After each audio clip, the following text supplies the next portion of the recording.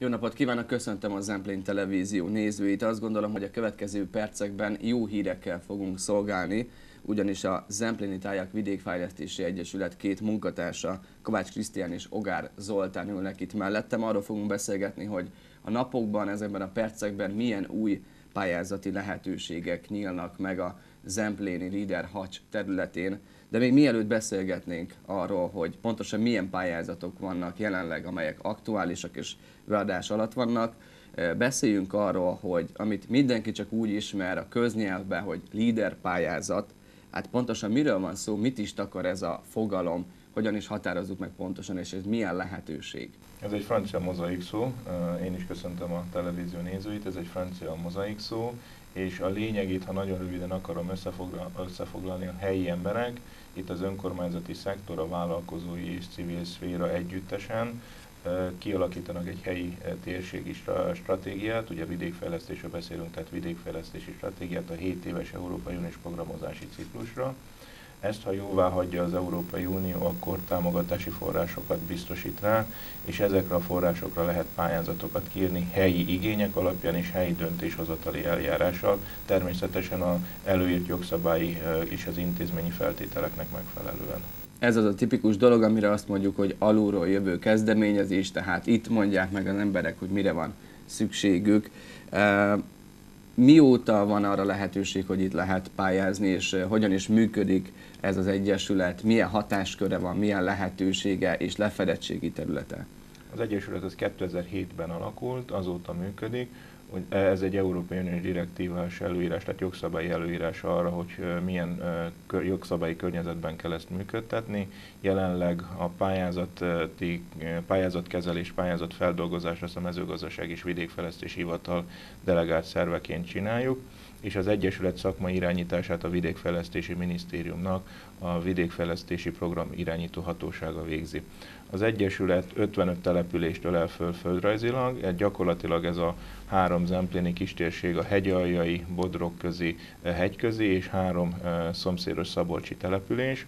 Innen vannak az Egyesület tagjai az említett három területről, kilenc fős elnökséggel működünk, és gyakorlatilag ez az Egyesület eh, határozza meg a vidékfejlesztési stratégiát, minden éven ezt felülvizsgáljuk, és ennek megfelelően íródnak ki az alulról jövő kezdeményezés szerint, ahogy ezt említetted, a helyi pályázati lehetőségek, amelyeknek a teljes bírálati folyamata, egészen a, a felügyeleti előterjesztésig ez a munkaszervezetünk feladata. Van egy másik pályázati rendszer, ugye, amit köznyelv még szintén a líderhez sorol, de nem a líder pályázatokat tartalmazza.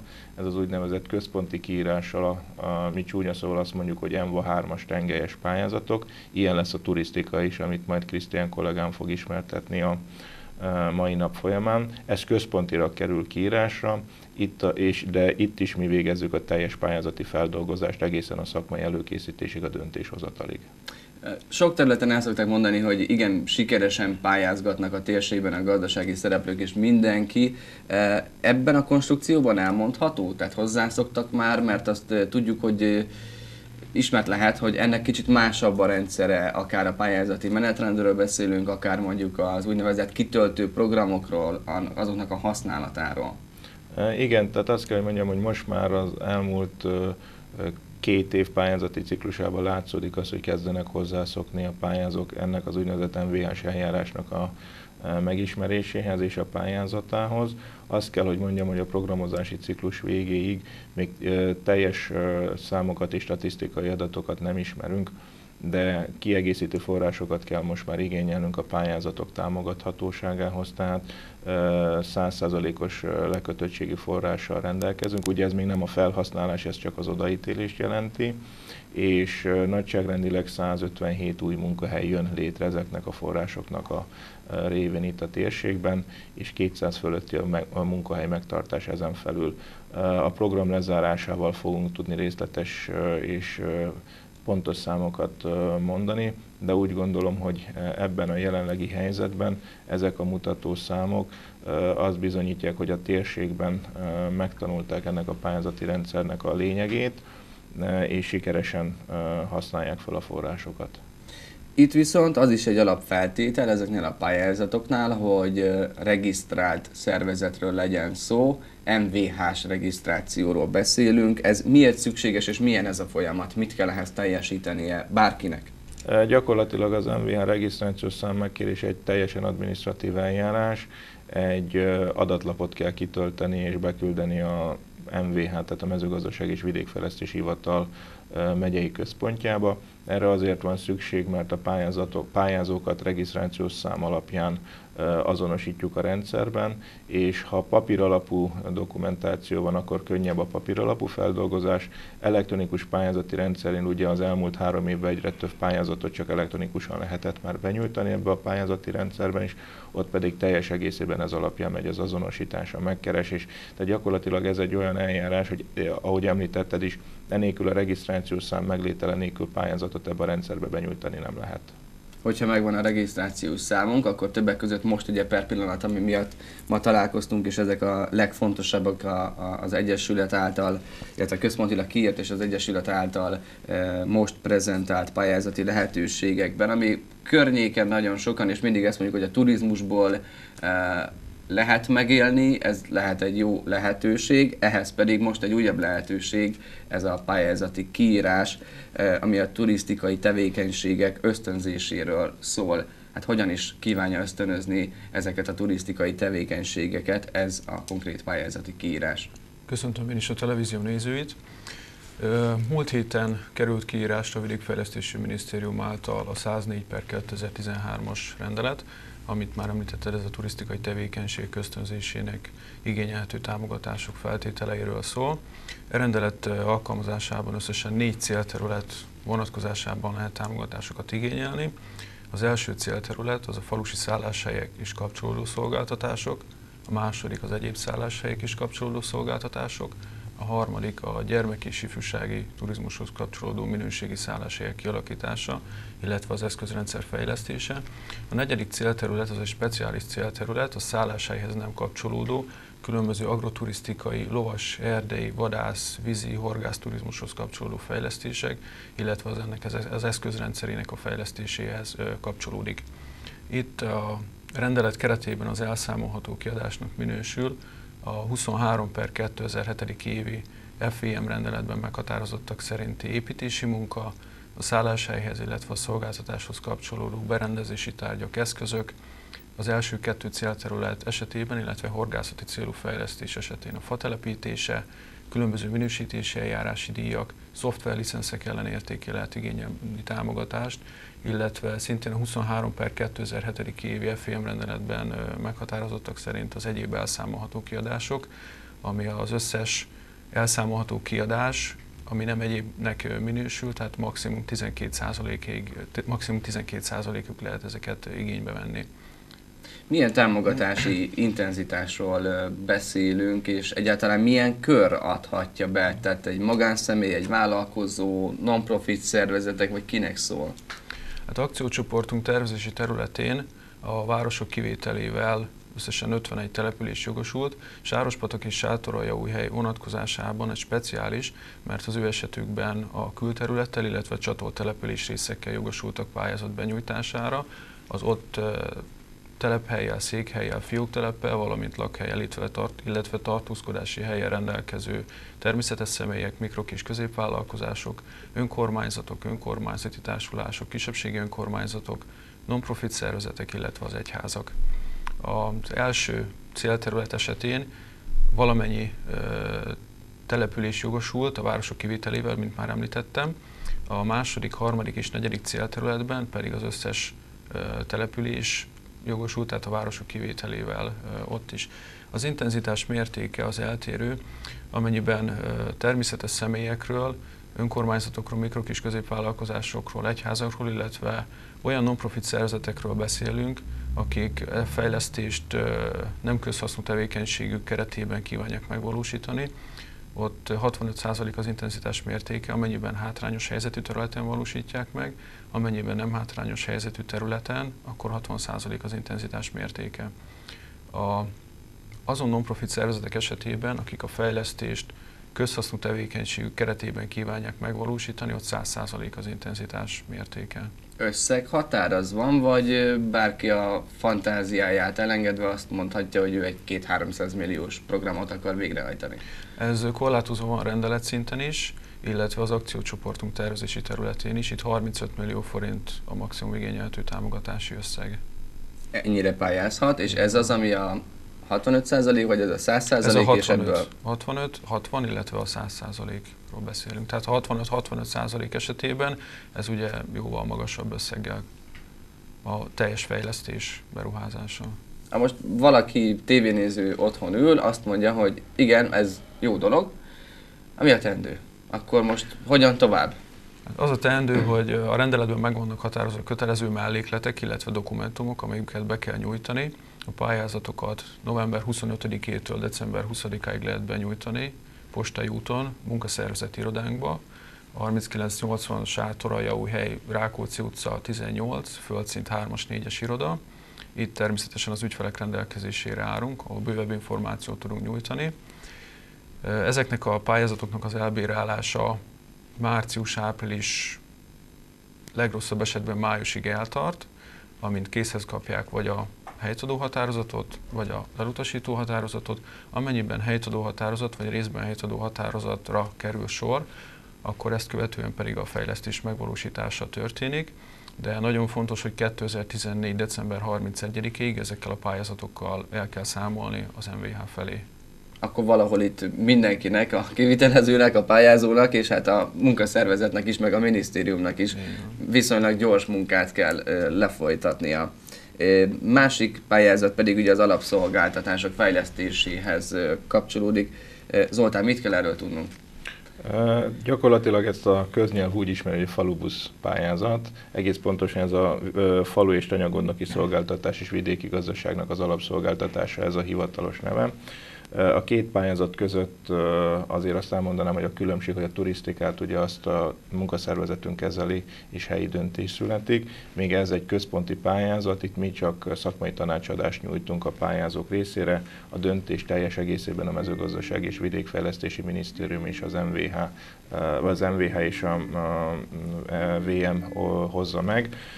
Négy célterület van, gyakorlatilag a hagyományos eljárásként az első célterületben a klasszikus falui és tanyugondoki szolgáltatásra pályázhatnak önkormányzatok, egyházak vagy egyéb olyan non-profit szervezetek, akiknek ez a kiszerveződéséhez megtör, kiszerveződésével, szerződéssel rendelkeznek. A kettes célterületen az egyéb közösségi fejlesztésekre lehet pályázni.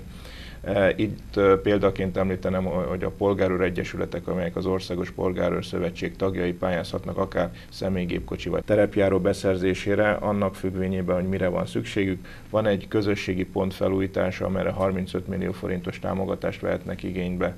Például önkormányzatok, hogyha könyvtár, eh, könyvtár szolgáltatás is nyújtanak, és van egy negyedik, ami egy nagyon behatárolt kör, ez az engedélyen rendelkező állatmenhelyeknek a támogatása.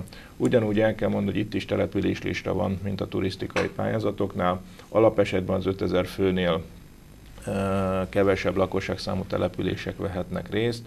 Vannak megkötések a rendelet részében a városi ranggal rendelkező települések esetében ez egy speciális eljárás célterületenként eltérő, ezt ezért nem ismertetném.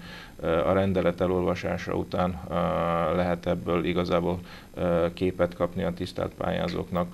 Tudni kell, hogy különböző mértékűek a támogatási felső küszöbök. Itt a legfontosabbat mondanám el, ugye a sláger tém ezeknél mindig a falu gondnoki szolgáltatás, az úgynevezett falubusz beszerzése, az maximum 10 millió forintos támogatást jelenthet, és ez alapesetben 100%-os támogatást jelent az önkormányzatoknak, illetve a non-profit szervezeteknek. A gépjárművek beszerzése az gépkatalógusból történik, amely akár az Egyesület honlapjáról vagy az MVH honlapjáról is közvetlenül elérhető.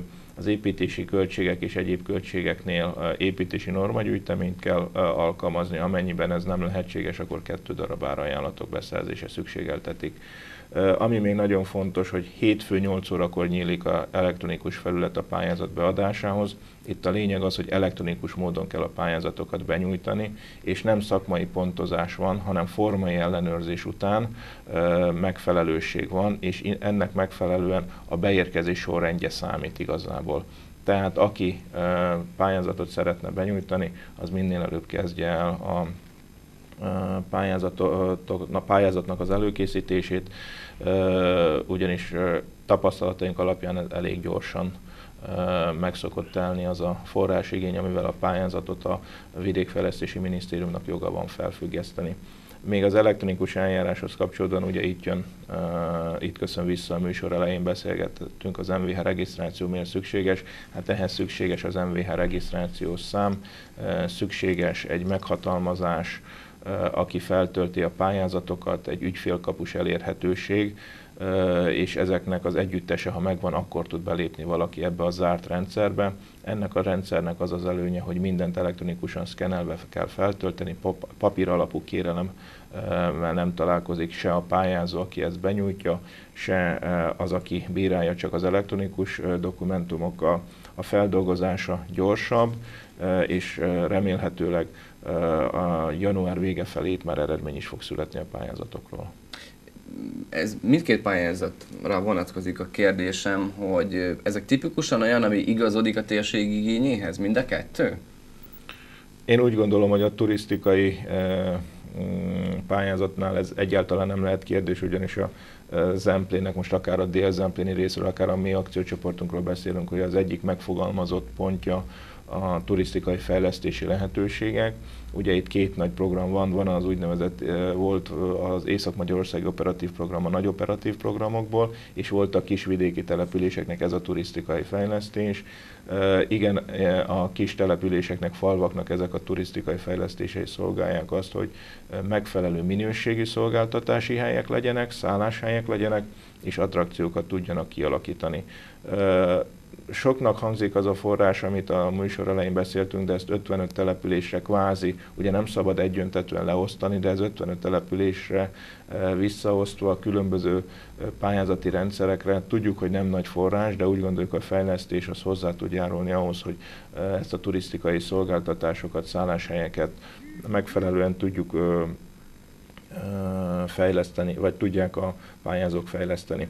A falubusz az egy teljesen más pályázati célra irányul, mivel előregedő társadalomról beszélünk, ugye itt a kis településeknél, ezek is természetesen a lehető legjobb helyekre tudnának kerülni, és az a célunk, hogy a, a területre, az 55 településen minél több ilyen falugondnoki, tanyagondnoki vagy egyéb közösségi szolgáltatáshoz kapcsolódó gépjárművet sikerüljön beszerezni. Ugye leg, az előző pályázat az öt évvel ezelőtt volt, és hát a nézők biztos sokat látják ezeket a kankalinos új Magyarország feliratos mikrobuszokat a térségben járkálni jobbra-balra, hát gyakorlatilag erről a pályázatról van most szó. Itt, hogyha megtörténnek a viszonylag gyors ütemben a pályázatok elkészítése és a beadások, kapkodniuk kell a tévénézőknek és érdeklődőknek jelzem már így ezen az úton is.